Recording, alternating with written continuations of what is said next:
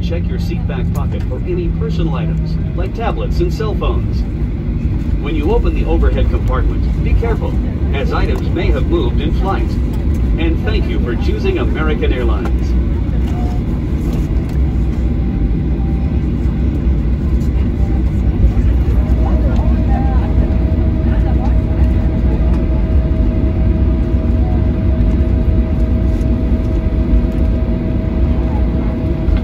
Ladies and gentlemen, welcome to Dallas Fort Worth International Airport, where the local time is approximately 9:17 a.m.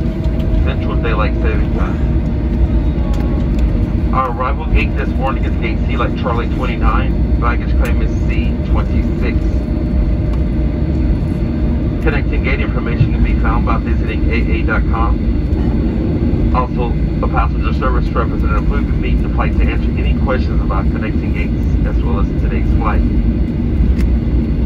DFW Skylink trains a train that can take you to all other terminals throughout the airport without leaving the security area. The trains depart approximately every one to two minutes in both directions.